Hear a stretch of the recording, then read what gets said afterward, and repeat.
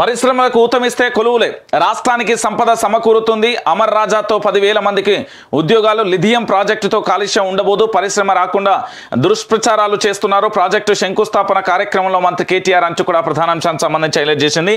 ఇదే ఏదంటే ఏది అంటే లిథియం ప్రాజెక్టు వద్దు అంటూ కూడా ఒక ఎనిమిది గ్రామాల ప్రజలు ఆందోళన చేసిన పరిస్థితి కూడా ఉన్నది.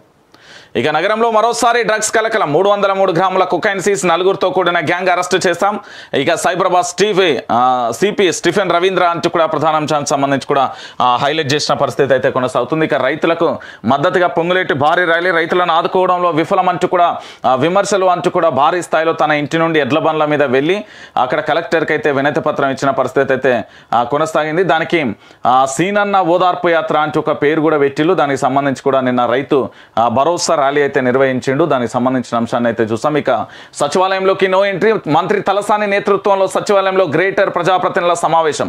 ఆహ్వానం అందడంతో బులెట్ పై సచివాలయానికి వచ్చిన రాజా సింగ్ భద్రతా సిబ్బంది అనుమతించకపోవడంతో వెనక్కి వచ్చిన ఎమ్మెల్యే అంటే కూడా ప్రధాన అంశానికి సంబంధించి కూడా హైలైట్ చేసిన పరిస్థితి. ఎమ్మెల్యే రాజా సింగ్ సంబంధించి ప్రధానంగా నిన్న సచివాలయానికి సంబంధించి ఎవరి కోసం కట్టుకున్నవా? కల్వకుంట్ల చంద్రశేఖరరావు అని అడుగుతున్నారు ఇవాళ తెలంగాణ ప్రజలు.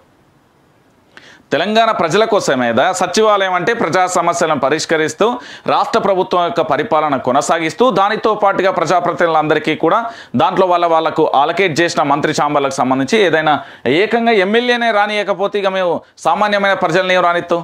ఇది ఇప్పుడు తెలంగాణ సమాజం అడుగుతున్నది. రైట్ ఇక నేను ప్రధాన అంశాన్ని కూడా చెప్తున్నా. ప్రధాన అంశాన్ని ఏంటంటే మీ అందరికీ తెలిసిన విషయమే